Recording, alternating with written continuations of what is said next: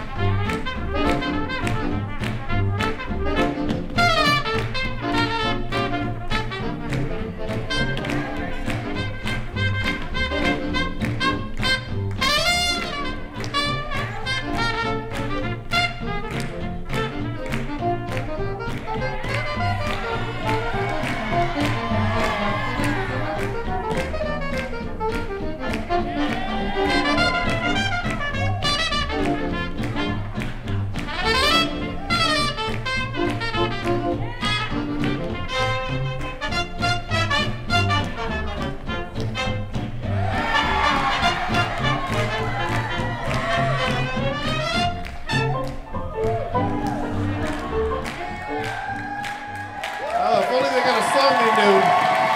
Give it up for me, but it's Christian Clement and Jenna Applegarth.